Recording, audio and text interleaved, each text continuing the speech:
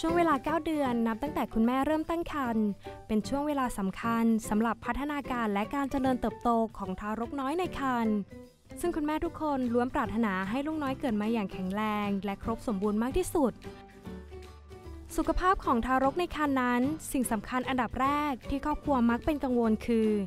ทารกเกิดมาจะครบสมบูรณ์หรือมีความผิดปกติหรือไม่ โดยเฉพาะอย่างยิ่งทารกดาวน์ซินโดรม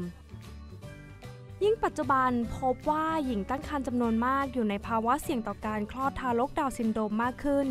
เนื่องจากการตั้งครรภ์เมื่อมีอายุมากกว่า 35 ปี แต่ด้วยความก้าวหน้าทางเทคโนโลยีทำให้สามารถติดตามการเจริญเติบโตของทารกในครรภ์ได้อย่างใกล้ชิด ด้วยวิธีการตรวจหาความผิดปกติทางพันธุกรรมของทารกในครรภ์ด้วยการตรวจเลือดแม่ ซึ่งจะทำให้ทราบความผิดปกติของทารกในครรภ์ได้ตั้งแต่เริ่มตั้งครรภ์เพียง 10 สัปดาห์ เทคนิคนี้ยังสามารถตรวจหาโรคที่มีความผิดปกติของโครโมโซมคู่อื่นได้อีกด้วย เป็นการตรวจที่ไม่ต้องเสี่ยงกับการแท้งบุตรจากการเจาะน้ำคร่ำทำให้เทคนิคนี้เป็นการตรวจที่ปลอดภัย มีความแม่นยำกว่า 99%นับเป็นทางเลือกใหม่ให้กับคุณแม่ที่ตั้งครรภ์ได้ทุกคน DNA Imagine ให้บริการตรวจคัดกรองดาวซินโดรมทารกในครรภ์ผลตรวจแม่นยำ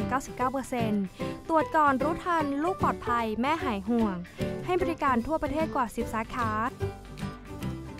สนใจติดต่อ call center 0919454926 หรือเยี่ยมชมเว็บไซต์ www.dnaimaging.co.th หรือ Facebook และ Line ID @dnaimaging